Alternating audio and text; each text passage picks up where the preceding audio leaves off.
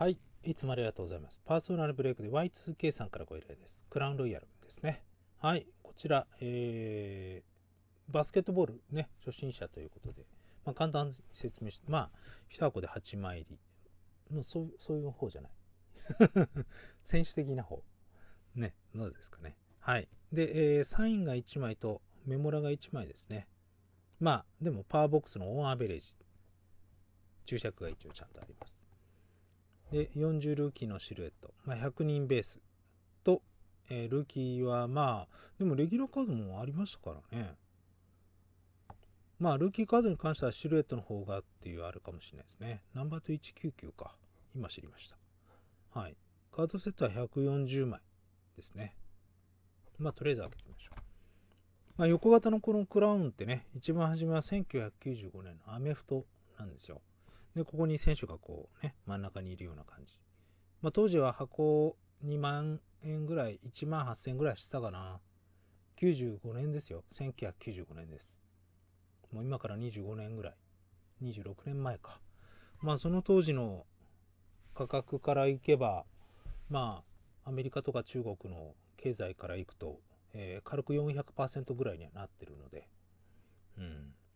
まあ1箱56万でも普通ですよねっていうなっちゃうんですけどね。まあ日本は1.15倍ぐらいにしかなってない。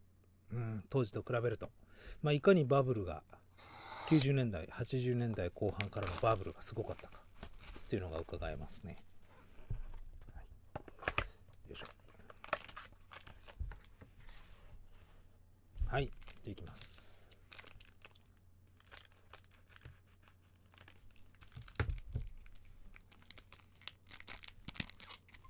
下ですね。うん。こうですね。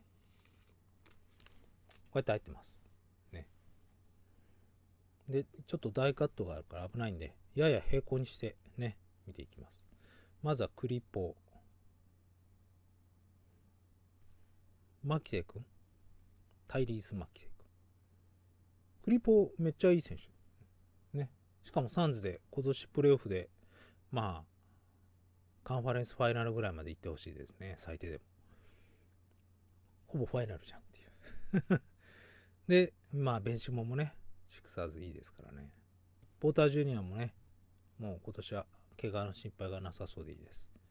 なんだこれこの大カットは初めて見たな。フルーツだ。はい。彼、ちょっとあの、ポイントガードなんですけど、怪我がちなところが少し今年も残念ながら怪我をしてしまいまして。でその下が多分サインだ。ひっくり返ってるな。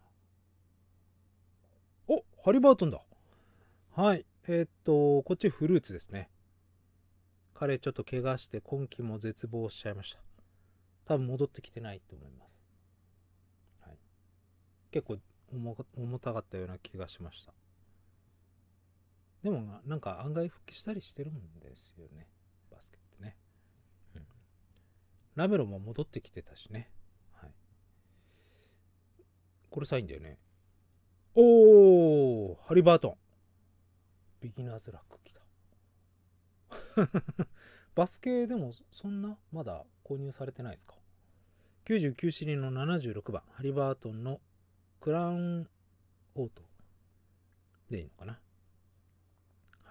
まあ、当時ね、あのメジャーリーグのカード1995年6年7年とかあるんですけどこのサインが入ってないクラウンダイカットってだいたい36パックワンボックスなんですけど37対1とかでインサートで入ってました。パシフィックさんってねあのちょっとオッズがね、うん、あのケース開けて出ねえじゃねえかって言われるのを回避するために、えー、36対1のところを37対1とか288パック1ケースなのを289対1とか そういう風なオッズをつけてました。はい、ハリバートン、あの、とても頑張ってますよ。えー、まあ人気順で言うとナンバー4ぐらいかなというところです。今年の中では。はい、選手としてはいいと思います。まだやっぱりちょっと細いですけどね。あの、アウトサイドもできるよう。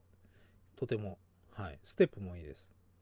でもおひげほどのまだバックステップじゃないかな。まあ、こっから勉強ですという感じです。おひげ道場に入門したらすごく、すごくなると思いますよ、彼。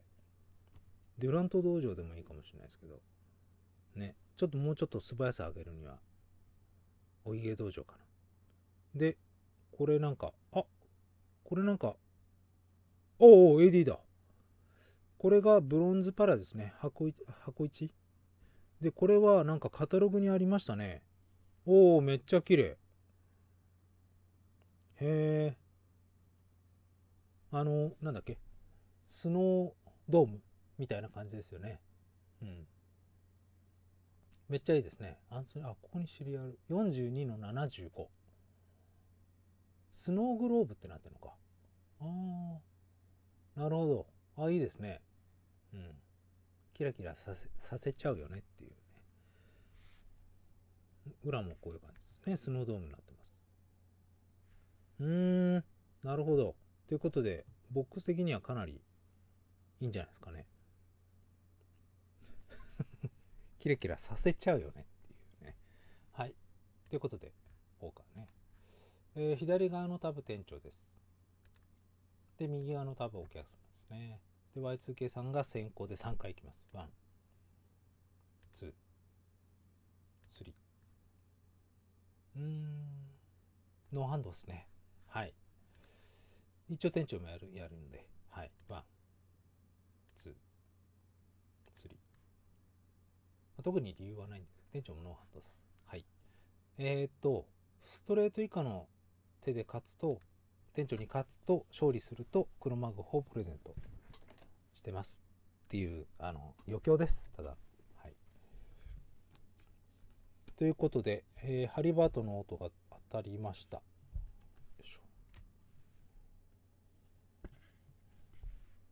ね、いい選手ですよ。これを機会にぜひ彼を応援するといいんじゃないですかね。まあ、キングスもなかなかこういい若者たちが入ってきてチームの構成は良くなってきてるのでこれからかなとは思うんですけどやっぱなかなかね勝率7割ぐらいまではいけるかなと思いきやなかなかっていうのが続いてますよね。はい、ということで、ね、なかなか良かったと思いますよ、店長は。はい。じゃあまたね、ぜひご利用ください。はい、ありがとうございました。